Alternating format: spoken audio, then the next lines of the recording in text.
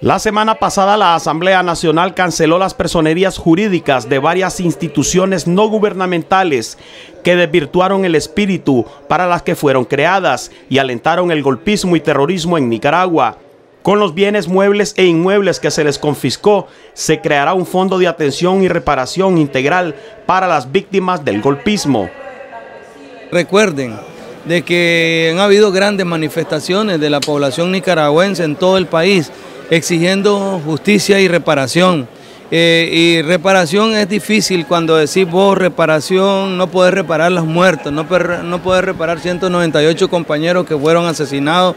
y, pero sí dejaron en la orfandad muchos niños que hay que pensar en ellos, hay eh, viudas, hay viudos que hay que pensar de que hay que de alguna manera sustentarle las necesidades que tienen esta familia. Los y las diputadas de la bancada nacional ante el Parlamento Centroamericano se suman a las voces de los nicaragüenses que quieren paz, tranquilidad y trabajo.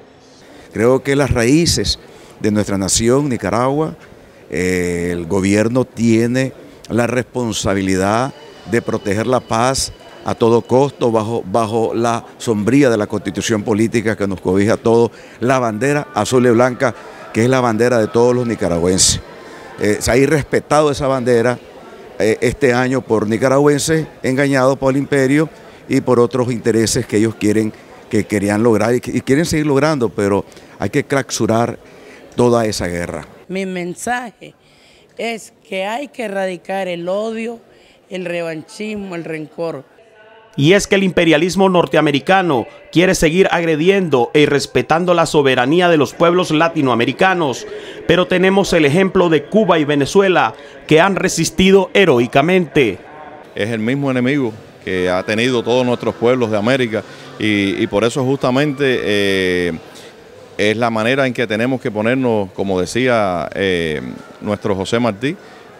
eh, en fila para que no pase gigante de, de las siete leguas y justamente mm, lo que estamos haciendo, eh, la manera en que, en que nos estamos fortaleciendo y, y, estableciendo la unidad, yo creo que es la, es la mejor manera de comprometernos y de, y de estar aliados unos, unos al otro.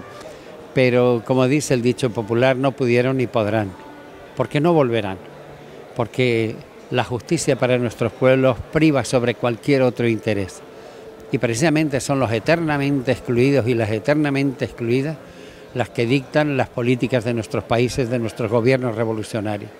Por lo tanto, seguimos construyendo, construyendo un futuro de esperanza para nuestros pueblos. Nicaragua se enrumba en rutas de paz y esperanza, y quienes quieren arrebatarle ese derecho a los nicaragüenses no podrán con un pueblo unido que demanda justicia y reparación.